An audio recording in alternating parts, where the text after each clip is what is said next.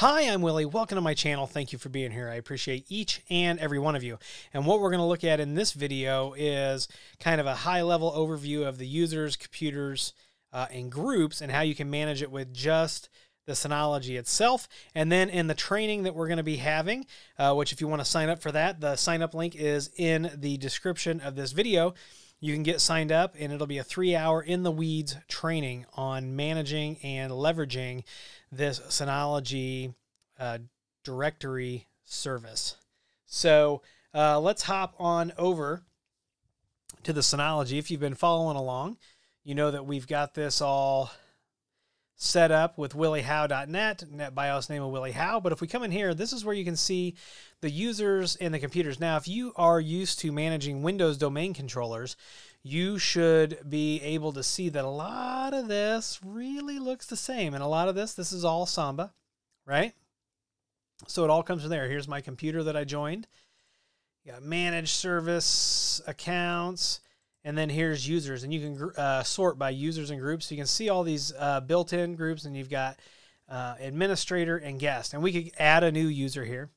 And of course, we've got domain controllers. Then over here, we've got at a very basic level, and like I said, we're going to get into the weeds on a lot of this stuff in the training. We've got our password policy. This would be like your default domain uh, policy.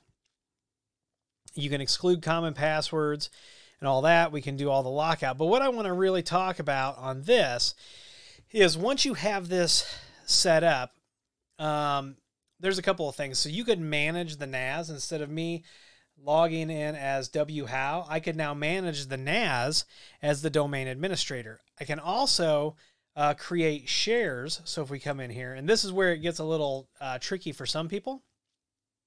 If we come in here and we create a shared folder, and I'm just going to call it uh, Willie Howe, right?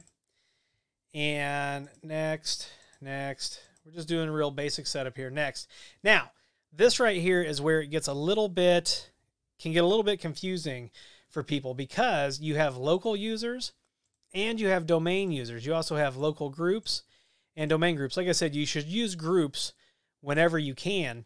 But here's the thing. So even though that this this is a, a domain controller, you can still have local NAS users. And I see this when we fix a lot of these in the wild because people have directory services set up. It's not working correctly. Well, that's because they keep adding users to the local users. So you have to watch out for that. So going forward, you're not going to want to use local users, right? You want everything to be domain users and domain groups. So keep that in mind. I wanted to really touch on that. Like I said, deep dive in the training. But if you've got any questions about this, I'm more than happy to uh, answer those down in the comments. So let me know. I know it's a little it's a little confusing, um, but you'll get there. Practice makes perfect.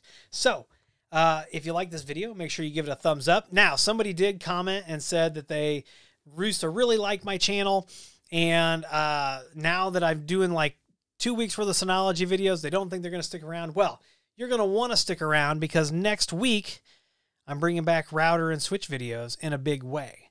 So make sure you give this video a thumbs up, comment, share.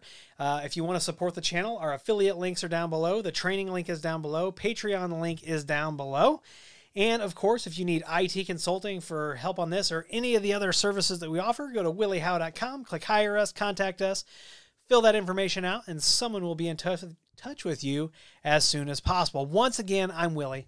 I want to thank you for being here. And as always, I'll see you in the next video.